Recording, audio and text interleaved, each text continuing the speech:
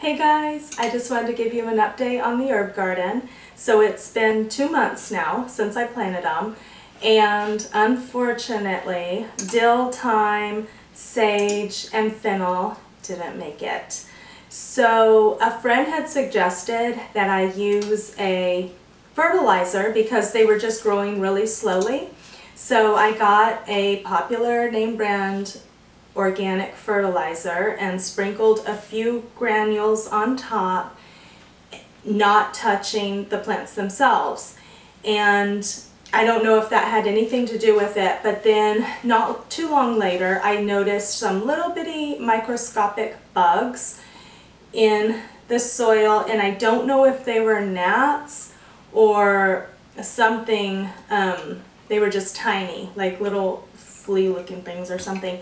So I got some neem, neem oil spray and after reading it I was scared to use it because the plants were so young so I didn't. And then um, those four and chives were just getting worse and those were the ones with the bugs. So I went ahead and used the neem oil spray and those four didn't make it. Chives is barely hanging on.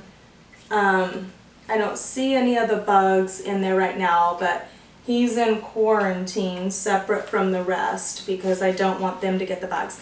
But basil, the both the basils, the Thai basil and the sweet basil are looking really good. So this is the sweet basil and this is the Thai basil. So they're both doing really well.